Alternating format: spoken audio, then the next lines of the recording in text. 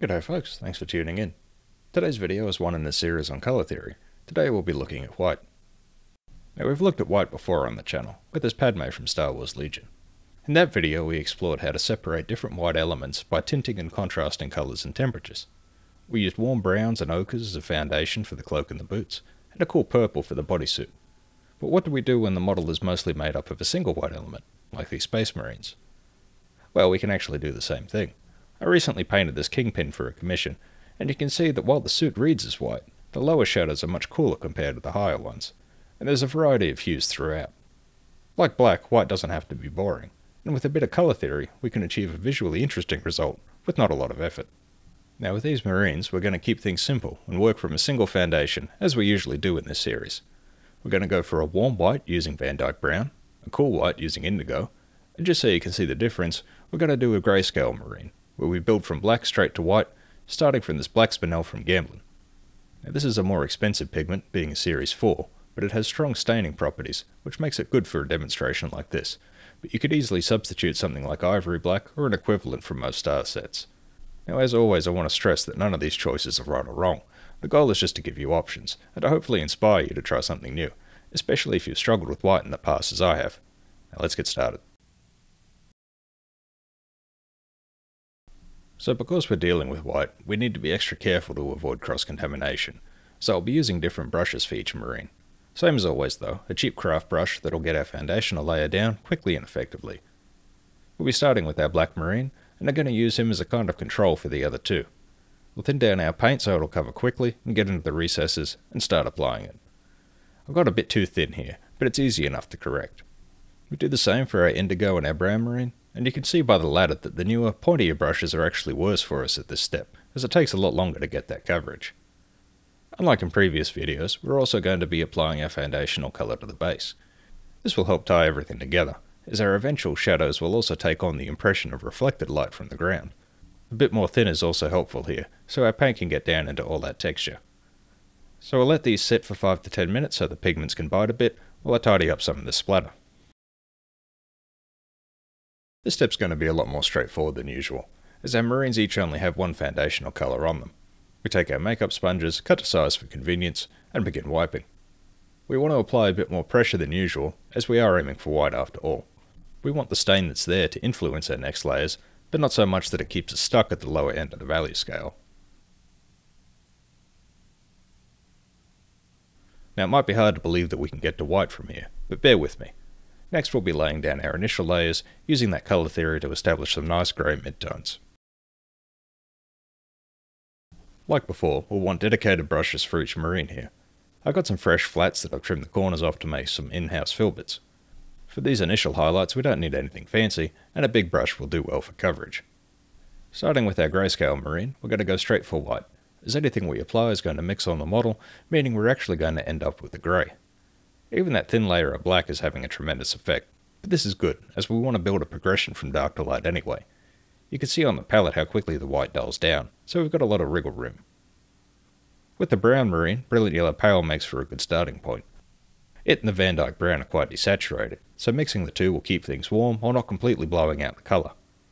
You could add white here instead, but that would leave us with a duller brown, giving us fewer options for subsequent highlights.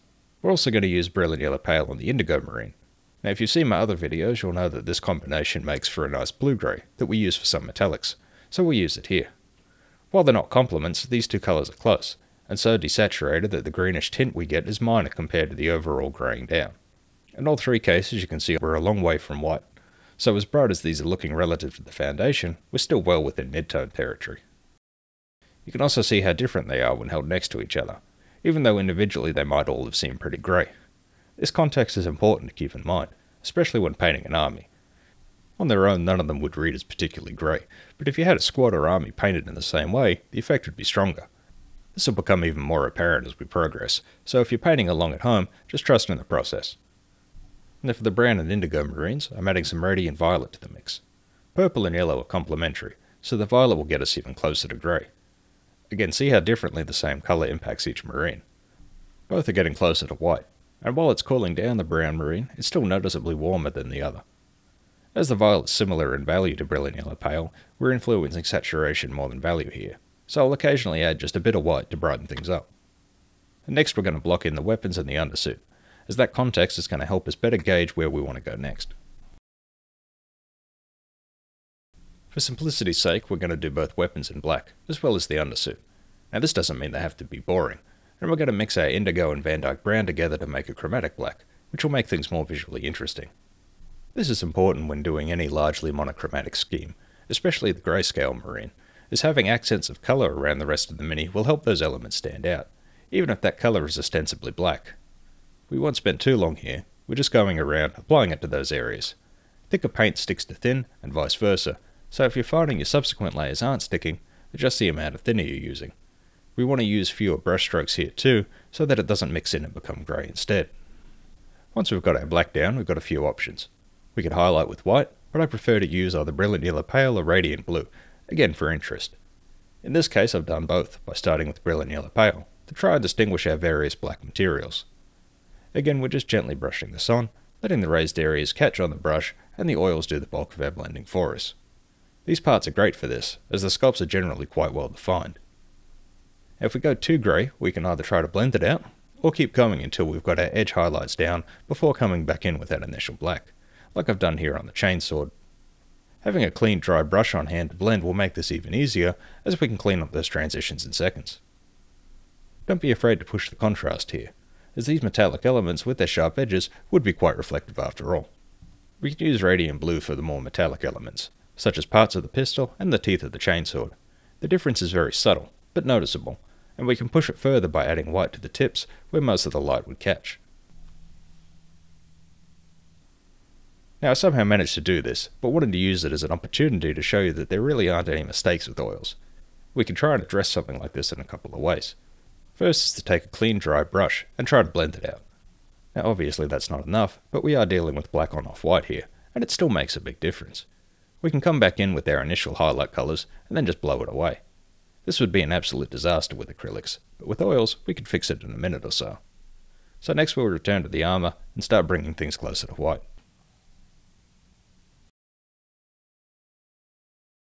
I'm using smaller, dedicated filberts now, as we've started to get more precise with our brushwork. As it's so easy for white to become contaminated, it's a good idea to let things sit out between applications. Even a few minutes gives the paint on the model a chance to set up a bit, and a clean brush with a fresh set of eyes will make things even easier. Same as before, we're coming into our first marine with more white, this time in a more concentrated area, focusing more on the upward facing edges and surfaces. Again, the difference is quite strong, and it can be sometimes jarring just to realize how far from white we actually are. We're also using white on the other marines, where the difference is even more pronounced. Again, side by side they look quite different, but the value progression is similar, which is what we're going for here. By now a healthy amount of brush strokes are built up between our layers. We always work with minimal paint on the brush to minimize this, but it's still going to happen. We fix this with a clean round brush, like these old Savils.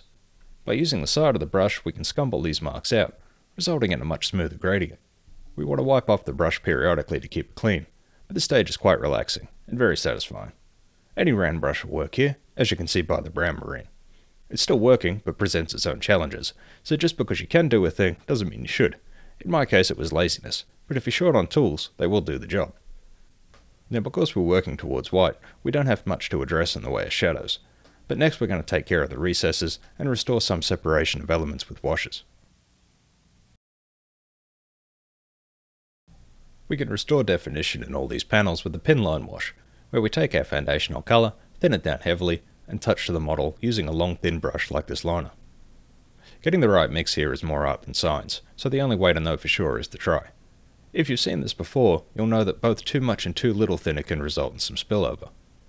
The important thing when this happens is not to panic, let it sit, and trust that we can take care of it. Now you could make a case for lightening the foundation a bit, if you didn't want such a stark contrast in general, or on softer areas of separation like the mohawk here. So I'm going to do both so you can see the difference. On softer areas like the mohawk, some spillover is inevitable, so just lean into it.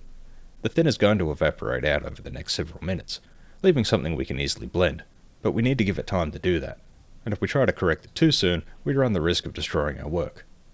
This can be a real test of faith, especially when working with white, and watching it bleed out like this can be agonizing, but we need to trust the process. To give it the time that it needs, we're going to work next on the emblems, the trim, and the eyes, but this time we're going to do something a little bit different. Normally at this step we do the same thing across all three marines, but I thought it'd be fun to try something a bit different and give you some more options. We'll start by mixing red with our foundation for each marine. We want to go dark here to give us something to build on and to prevent things from starting out too pink, but also it'll mean we're consistent with our shadow colours. From there we'll layer pure red, but for our highlights we want to complement the bigger picture. So for the grayscale marine, mixing yellow into red, followed by some white, will give us a desaturated peach highlight. The indigo marine instead gets a bolder, brighter orange, with just yellow and red, and the brown marine we mix in violet, giving us more of a pink. They all work in their own ways, but my thought here was in keeping with the desaturation of the first marine, or by contrasting against the foundation of the second and third, we get a result that's much more harmonious. So this part's very straightforward. We just come in with our blending brush and tap the blemishes away. With the majority of the thinner evaporated off, we don't have to worry about erasing our work, and the amount of paint that's left behind is negligible compared to what's underneath, so we could just blend it out. Even on an off-white surface, there's very little evidence left behind, and any remainder can be taken care of with more white in our final steps. I'm going to let this one just run for a bit, as I hope you find it as satisfying as I do.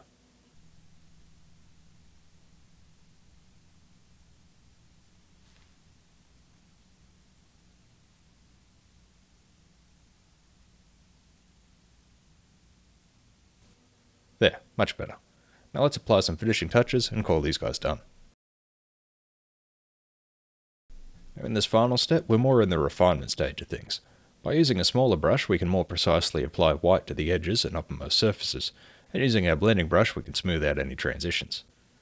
I find the trick with white is to both incorporate the hues of the surrounding environment, and to save our brightest white for the final highlights.